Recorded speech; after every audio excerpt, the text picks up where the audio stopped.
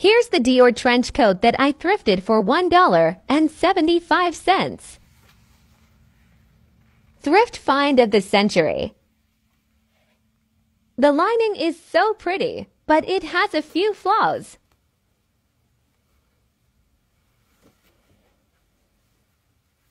It still has the belt and arm straps.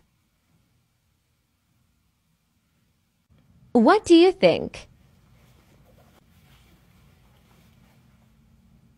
Should I keep, sell, or upcycle it?